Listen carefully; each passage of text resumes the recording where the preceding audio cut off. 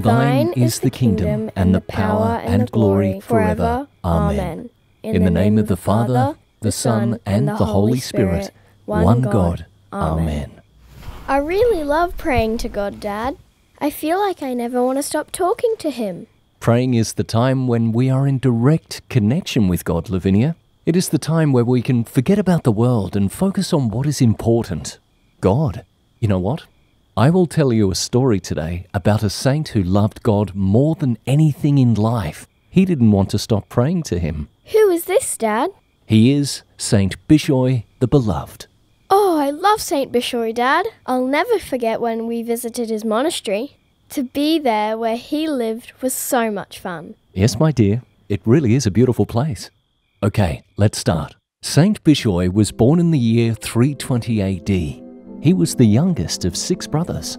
My dear sons, come and eat, and then it will be time for bed. Oh, Mom, you look so tired. After our dad died, you were doing everything for us.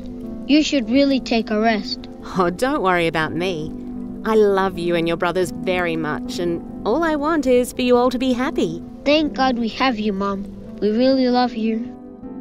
What is this? Who are you? I am the angel of God. God wants one of your sons to be his servant. They are all for God. Choose any one of them. Bishoy will be a good servant for God.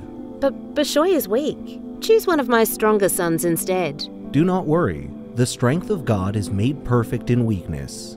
At the age of 20, Bishoy left everything and went to the desert of Shehet, becoming a monk there. Thank you, dear Lord, for accepting me to be a monk. Now I will live all my life worshipping you. I really love to pray to God, and I don't want to sleep. I want something to keep me awake. Yes, I know what I'll do. I will tie my hair to this rope so that any time I shall fall asleep, the rope will pull my hair and wake me up.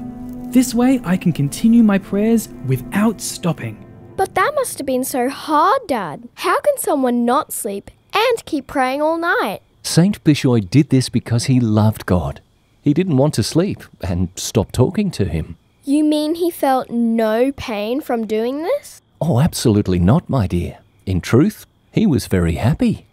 One day while Bishoy was working in front of his cell, something strange happened. Who is this? I see a weary traveller. I will go quickly to this old man and ask him to come and take a rest and eat something. Come, please, and have a rest here. Thanks so much, but I don't want to bother you. No, I will be really happy to serve you. The Bible says, Do not forget to entertain strangers. Thank you so much. Come, sit here and I will wash your feet. You must have traveled a long way. Put your feet in this bowl and I will wash them. What are these injuries in your feet? Oh, are these wounds on your feet from nails? Is this you, my Lord? Behold, this is my Saviour, Jesus Christ. Blessed are you, my beloved Bishoy. I will always be with you and will bless this place. Blessed Father Bishoy, we know that Jesus loves you very much. Please pray to Jesus and ask him to appear to us as well. I will pray for you, my dear son. My dear sons, today Jesus will appear to us all atop this mountain. Let's go quickly to see him. What's happening, my son? Why are you all running? Jesus will appear to us at the top of the mountain. Can you please carry me so I can see him as well? I am sorry, but if I carried you, we will not reach in time, and I will miss seeing our Lord. I am sorry, but I must go. Can you carry me, please? I too want to see Jesus. Of course I can. I too am an old man, but I will do my best and try. Thank you, my dear son. Come, and I will carry you on my shoulder. You are so light. It is strange, but I can carry you very easily. What is this? You now have become so heavy. Oh, it is you, my lord? Behold, this is my Savior, Jesus Christ. Because you carried me, my beloved Bishoy, I will keep your body forever even after you die.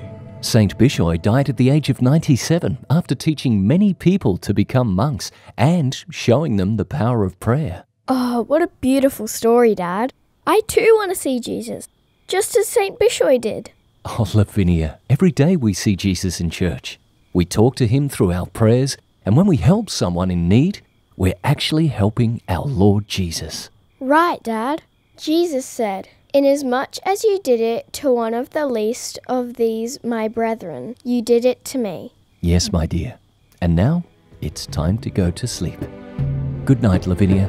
Good night, Dad.